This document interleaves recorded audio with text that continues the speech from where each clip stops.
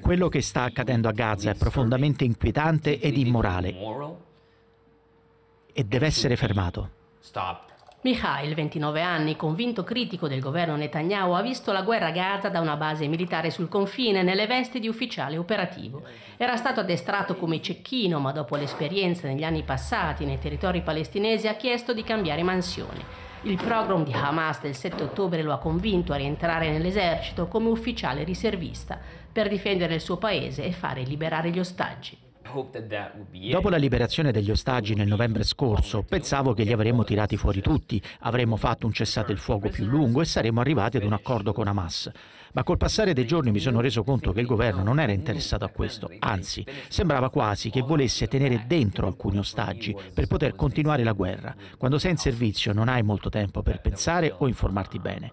Il momento di non ritorno per me è stata l'uccisione per errore di tre ostaggi israeliani. Avevo finito da pochi giorni i primi tre mesi nell'esercito, sventolavano la bandiera bianca, parlavano ebraico, eppure gli hanno sparato addosso. Inaccettabile, contro ogni regola di ingaggio. Lo abbiamo saputo perché erano ostaggi. Quante altre volte è successo con i palestinesi. Nessun ufficiale è stato punito. Lì ho deciso che mi sarei rifiutato di servire un'altra volta. Da qualche mese Mikhail è formalmente sospeso dall'esercito da quando ha firmato con altri 150 riservisti una lettera indirizzata al premier Netanyahu.